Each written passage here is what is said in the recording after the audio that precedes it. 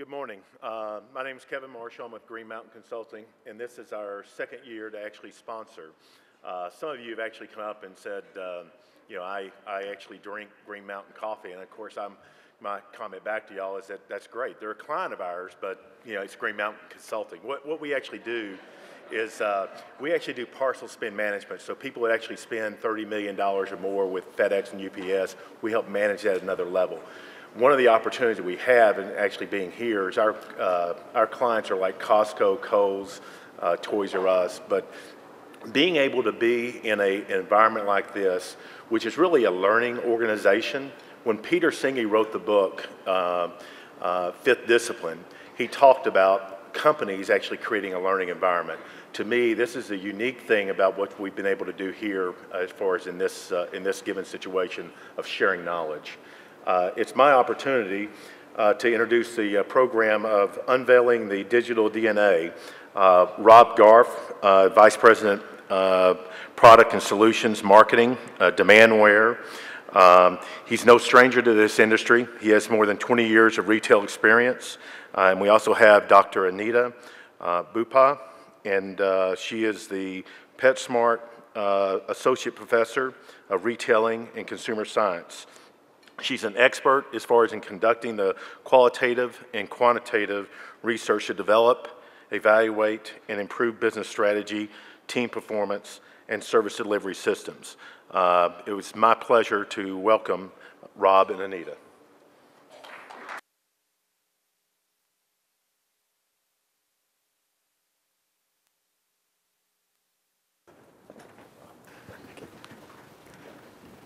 Well, good morning, and Kevin, thanks so much for that kind introduction. Again, my name is Rob Garf. I'm with Demandware. For those of you who may not know who we are, we're a cloud-based digital commerce platform that helps companies like Tory Burch and Clarins and Kate Spade, Columbia, Pier 1, Brooks Brothers, and others grow in this new retail reality.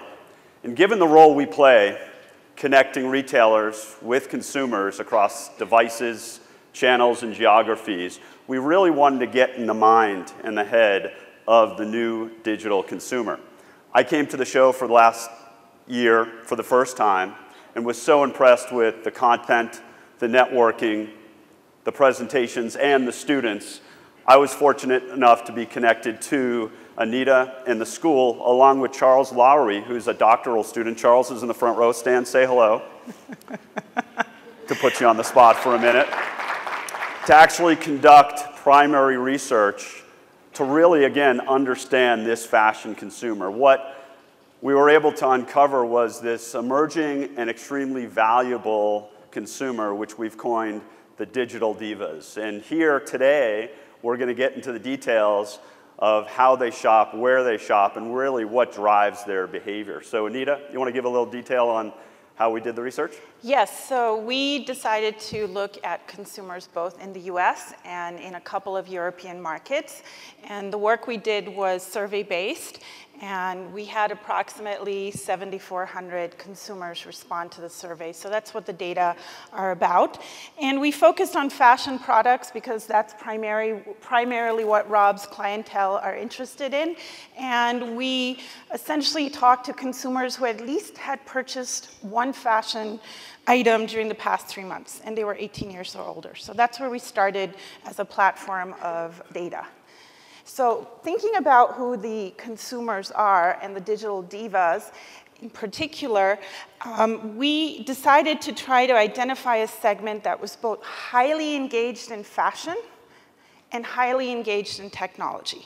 And so we were looking to see among the multitude of consumers who buy fashion goods, are there a set of consumers that we could define as being high, high on these two levels? And in particular, we didn't want to look at how much they spent. We wanted to look at behaviors that were indicative of their engagement so that we could look at them across a broad range of demographics. So the definition of the diva isn't tied to demographics, it's tied to the fact that they love fashion and they use a lot of technology. And so in exploring the data and in asking them questions about how they shopped, and that is really the focus of the research is how, not necessarily what, um, we discovered that digital divas who are high on technology engagement use 3.7 technologies across all of those, always or almost always, compared to less than one for their non-diva counterparts.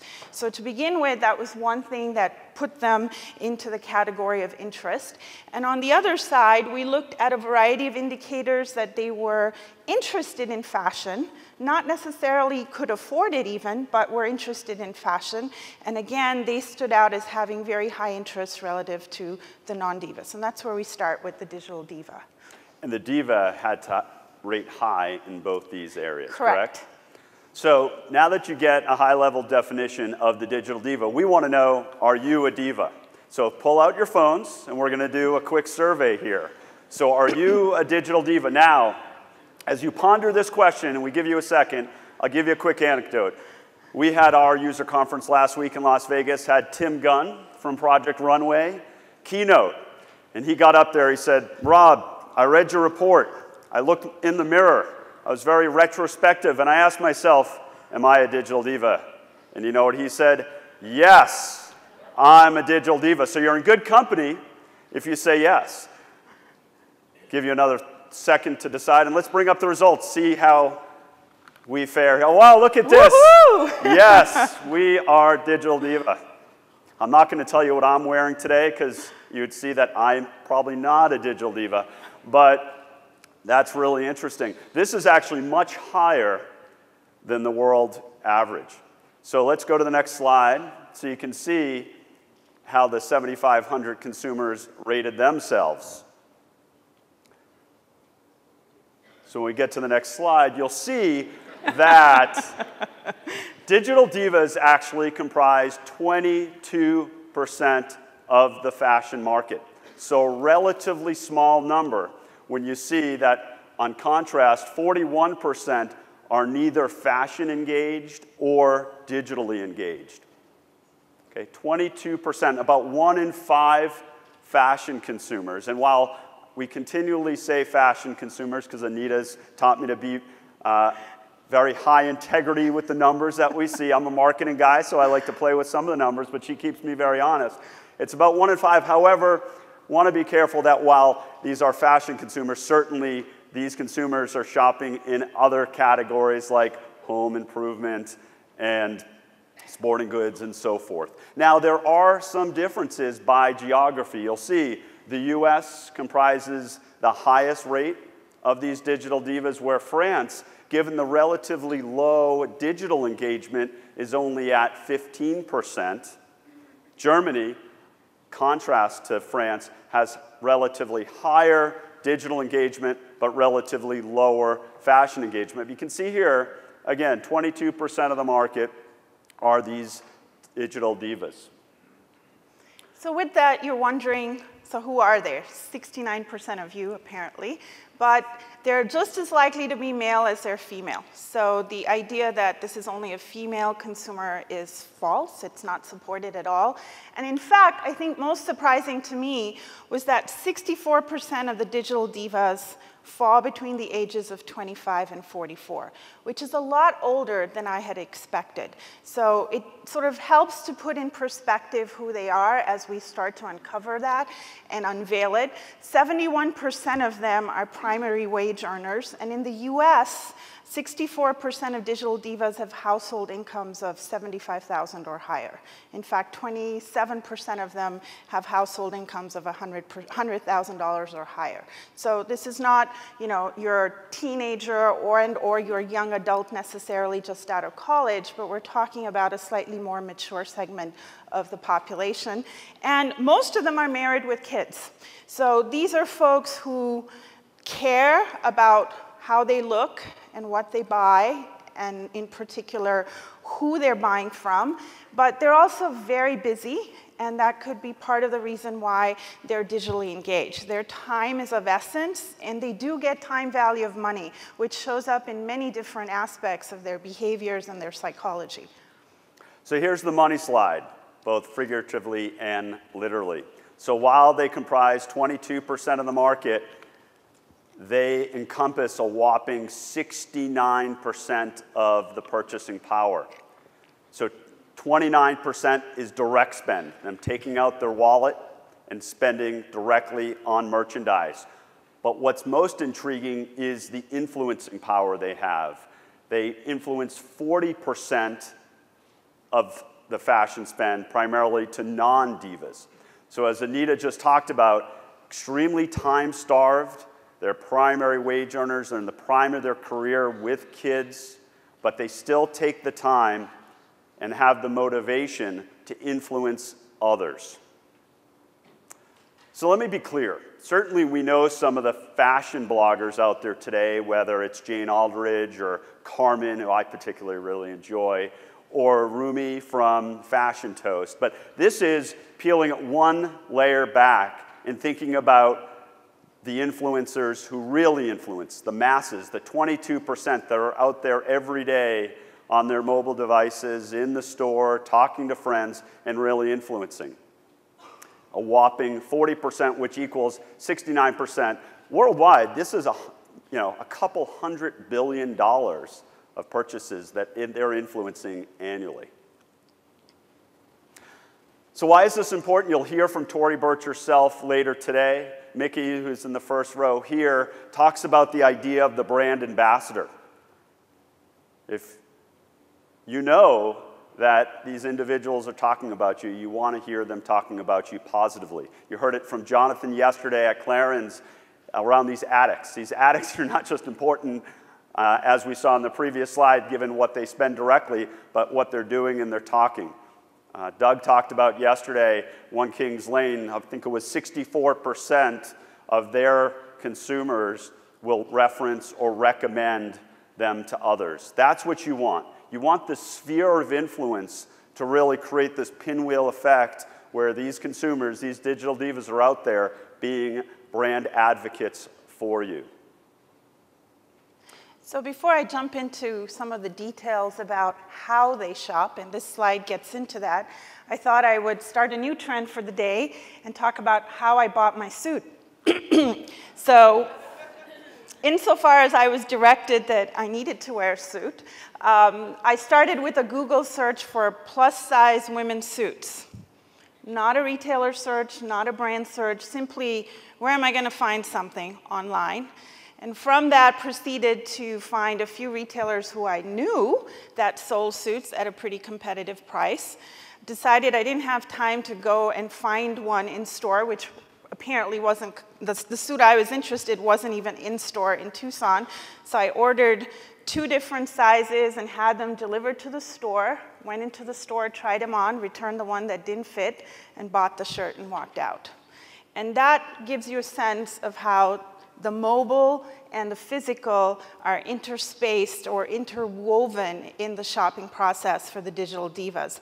So as we delve into the data a bit more, I chose some terms to try to give you an idea of who they are and how they shop. And so when we talk about shopping destinations, they're digital divas, but the place that they shop the most is the physical retail store. 70% of them will always or almost always hit a retail store in that process of shopping.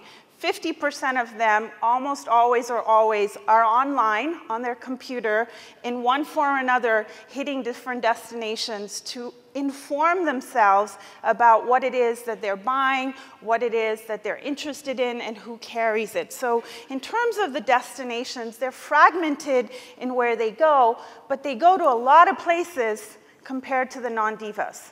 So it's not a one-stop shop experience. It's a multi-destination shopping process, and it can start just as likely in the physical store as it can online or mobile, and then switch in terms of the final execution. In terms of being informed, when they're trying to make a decision about what to buy, they're consulting on average, always or almost always, 3.5 different information sources compared to the rest of the population of fashion shoppers who essentially look at less than one. And so this again tells you a little bit about how they approach the shopping process. And I like to term it in this way, which is that they spend a lot of time in the search and discovery parts of the decision-making process.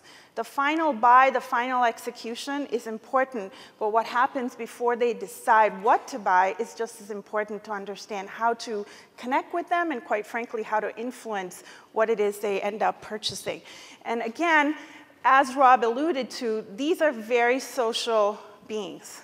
They are connected, not just to you as retailers through various devices, but to their networks of friends and family who, like them, don't have much time, but take the time to share. And we'll get into why they share in just a few slides. But again, I think it's important to note that on average, they're interacting with almost two different social networks, always or almost always during a fashion purchase either to seek information on what to buy and or to share information about what they are about to buy. So I think it becomes, again, a sort of idea around how they shop.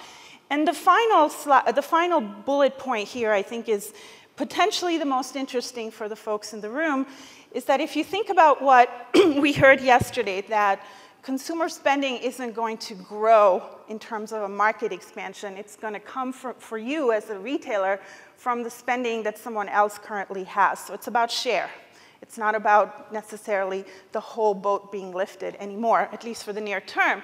And when you look at the divas, they're definitely more loyal than the non-divas when it comes to having a favorite retailer, but I like to think of them as untethered because it's still 60% that aren't tethered to anybody. So the opportunity is quite large, but I also think it's important to reflect on whether there's even such a thing as a favorite retailer anymore for this type of consumer because they're, they're buying from a lot of different venues and a lot of different people. So the idea of loyalty itself may look different moving forward. And when we look at fragmentation, two key areas of interaction are social media and also mobile. So if you point yourself to the bottom left, you'll see two times by a mobile device. This indicates that digital divas are actually two times more likely to use a mobile device within a physical store, right? Which is pretty unbelievable given this interconnectivity and their willingness to share and influence. Uh, they can do it instantaneously. Now, what we found, and Anita's going to dive into some of the details, uh, this is for the positive, right? So you see hear a lot about showrooming and moving quickly away. We heard an anecdote yesterday of how that happened from Kevin, direct experience, but they're using it actually for the goodness to communicate and influence. And also, some of the other areas are finding product. This actually rated the highest. Finding product that's not physically in the store and entering into an endless aisle environment to be able to find the product wherever, whenever they want it. The other piece, and this actually came out really high in the UK, was the willingness to use a mobile device so that the consumer can be identified while walking in the store and offered a promotion. Uh, we think this is because of some of uh, the more progressive loyalty programs from the likes of Tesco and Sainsbury and others who have gotten to more of a personalized uh, interaction and personalized promotion. So there's a willingness uh, to give in order to get. Uh, so we're seeing, again, the mobile device really fundamentally changing the in-store environment. We've heard a lot about this, and we think uh, this will actually cause retailers in the not too distant future to rethink their entire store system stack, moving away from really the hardwired in-store processor-based point of sale and having more of a virtual point of sale that recognizes this mobile shopper uh, that is weaving in and out of both the physical and virtual worlds. We're seeing this with clients of ours today, like Bestseller in Europe and House of Fraser, who have created virtual point of sales on our e-commerce platform to really cater to this digital diva and the reality that's happening uh, across the mobile spectrum. So given this huge shift, the seismic shift in mobile, and also what we're talking about as it relates to the opinion sharing of these digital divas, we wanted to peel it one level deeper to really get into the psyche of this individual. So Anita's going to dive into the details into terms of what really motivates the digital diva to both share opinions and use their mobile device in the store.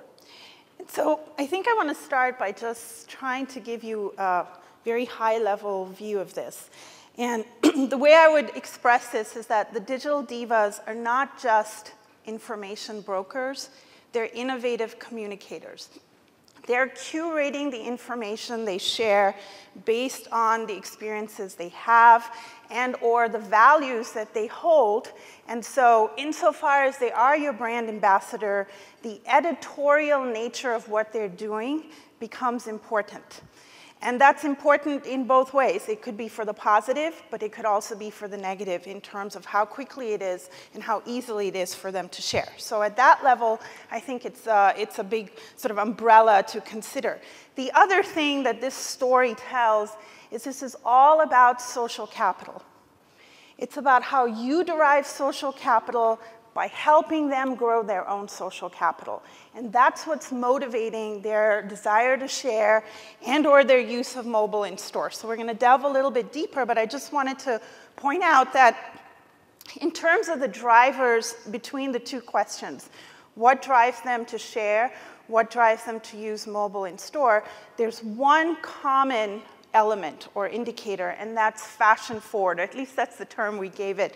And what this describes is that the divas are very concerned about managing impressions. In this case, fashion impressions. So they care about who's in, what's cool, and what people think, people in their network think about what they're doing. And this desire and this need to manage the impressions of others, and insofar as manage their own impression management, seeking advice from others, drives both those behaviors in common. So that's the fashion forward button. So we can go to the next slide. We're going to delve a little bit deeper again into why do they share? It's an interesting question. And I've tried to cut the story really simple for the audience here, so I'm going to delve into it. If you want a much more high-level, uh, multi-model uh, explanation, you can speak to Charles, who's doing his dissertation on this. But just to give you a top line view, there are three primary drivers of this.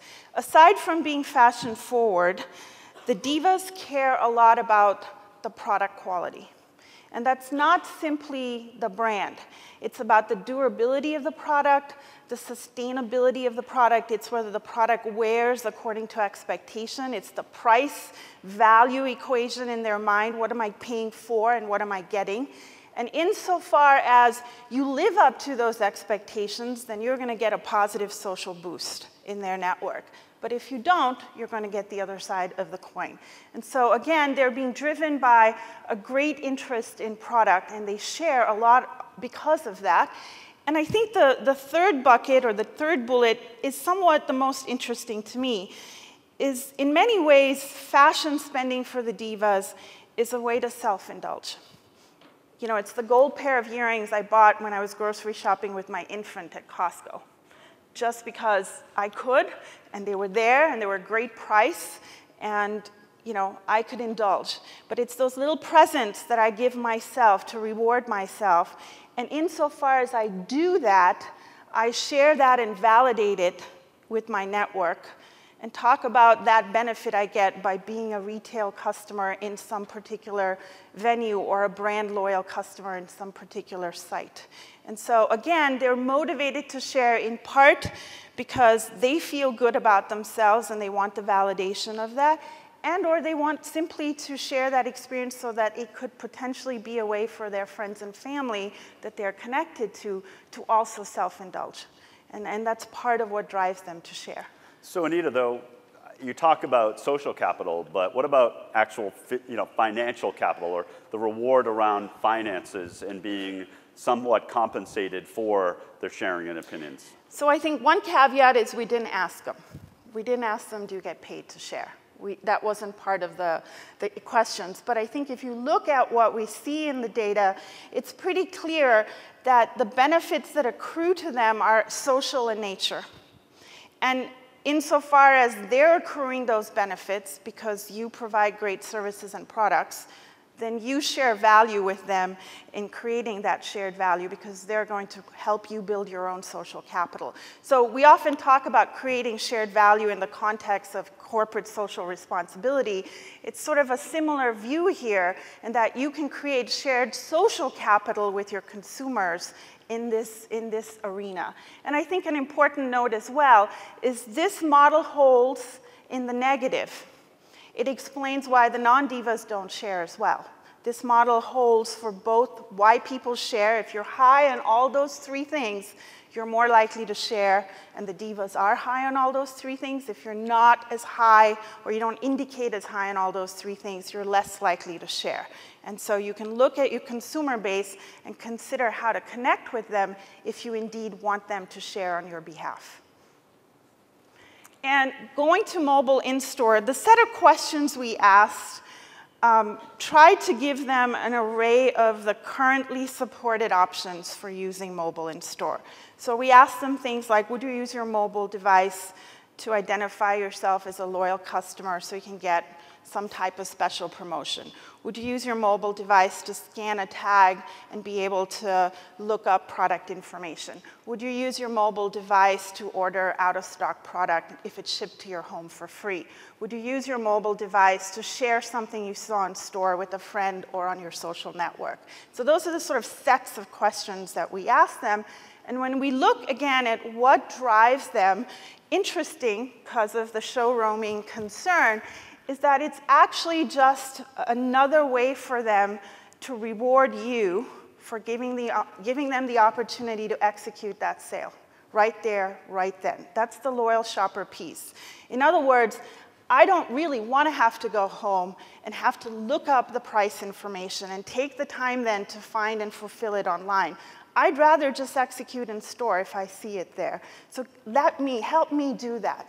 Give me the technology so that I can take the time not to have to do it later on in the day or later on at night and execute right in store. So the loyalty factor is big here. It's a big driver for the consumer. And I think to Kevin's point yesterday, let them look. Give them the information on how you compare with price.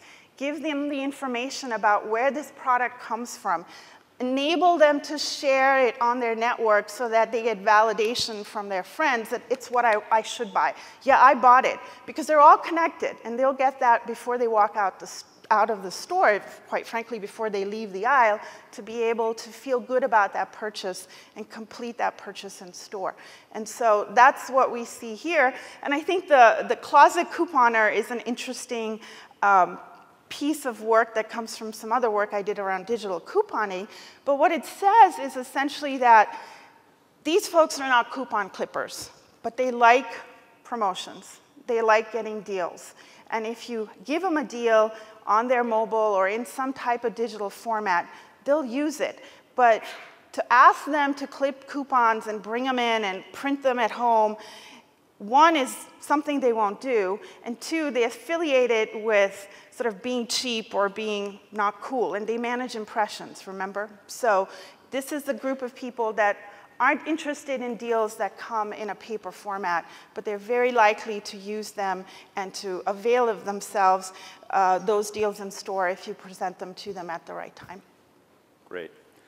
So as we put a bow around this, let's talk about why should we care and what do we do? Right, so you can read the words on the page, but two points I want to make here. First of all, these are the affiliates of today. Right? So we all remember affiliate programs back in 99 and 2000. You put a little logo on a page, you hope somebody clicks through, and you give somebody a certain percent for that affiliate fee. These are the affiliates of today.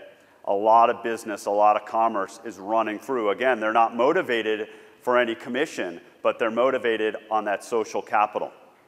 Second, while these are the fashion leaders and the influencers of today, they are the bellwether of tomorrow. You can apply them, and they're only going to grow over time to any segment of retail that you can imagine. So they're important to understand and cater to. So, what do you do? Where do I start? First of all, enhance the digital engagement, right? The virtual and physical worlds have collided, and they're only going to continue to collide and retailers must rethink the way they put together their platform to really understand this fragmented shopping experience and weave together their experience and do it in a way that has a consistency around inventory, as Terry talked about yesterday, or customer information, product information, and so forth. The other piece is increased fashion engagement. And really, the first thing is listen. You heard it from Clarins yesterday in the feedback card that they've been doing for a long time. Listen to them, understand them, not only in the front lines on customer service, but understand how that might influence your product direction and development. And the second piece is leverage your sales associates. They are your biggest brand ambassador. They have their feet on the street and they understand and have their pulse on what the consumer is saying. I remember doing a report as an industry analyst about six, seven years ago on advanced selling technologies, and a Wall Street Journal reporter asked me, Does this mean you can cut store labor by 20% because you're going to have a kiosk, you're going to have a digital device here and there? I didn't get uh, sucked into that answer, of course, but what I said is no, not at all. These devices are going to empower these store associates more so than ever before and make them as smart or smarter than these digital divas who are well informed, well connected, and obviously immensely uh, influential. So, hopefully, you found this information as exciting to you as we did. Uh, we think the digital divas are here to stay. We think we have an opportunity as an industry uh, to cater to them, understand them, and certainly embrace them in the overall ecosystem of our environment. So thank you so much for your time today and enjoy the rest of the conference.